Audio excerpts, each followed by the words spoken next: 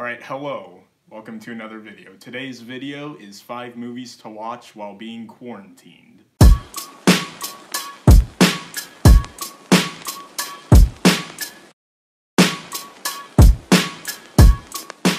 So, uh, obviously we're going to have a lot of time on our hands these next couple weeks, and if you're tired of binging the same 9 seasons of The Office over and over again, I have 5 recommendations for you to help pass the time. So one movie to watch is called Outbreak. It is currently trending on Netflix. It stars Morgan Freeman and Dustin Hoffman, and it is about the outbreak of a deadly virus. All right. Uh, another movie to watch while being quarantined.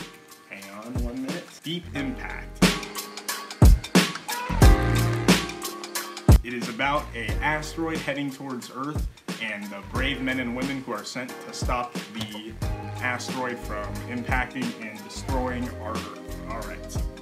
The next movie on this list is called Armageddon.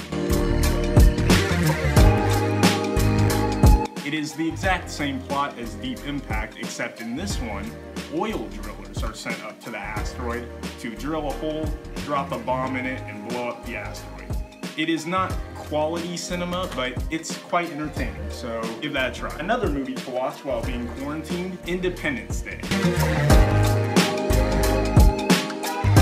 In this movie, aliens uh, attack Earth on, you guessed it, the 4th of July, and it's about brave citizens, much like you and me, who have to step up and do their part for the uh, fate of humanity. So, and now, the number one movie to watch while being quarantined is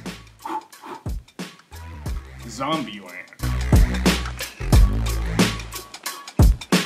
In this movie, a deadly virus turns most of the universe into zombies, and the remaining few have to do their part to protect the Earth, or what's left of it. So thank you for watching. Those are five movies to watch while being quarantined. Make sure you like and subscribe, and of course, sanitize those hands. Thank you. Bye.